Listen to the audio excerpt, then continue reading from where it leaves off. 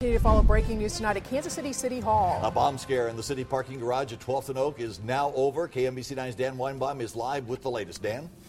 Yes, the situation has been diffused and cleared here at 12th and Oak at the parking garage. About half an hour ago or so, the bomb squad used a water cannon to defuse the suspicious device.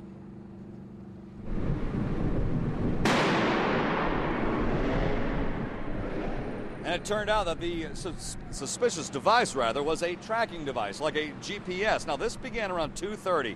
A couple had just left court getting a restraining order on the woman's ex-husband. And when they got to the car, they ran into the ex.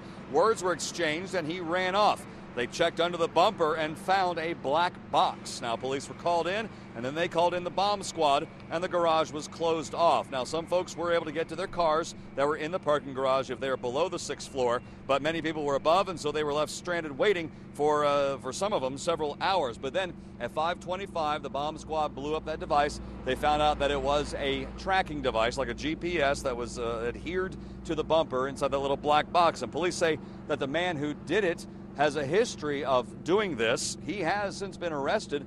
Charges are pending, and we hope to have more information on this for you this evening. Back to you in the studio.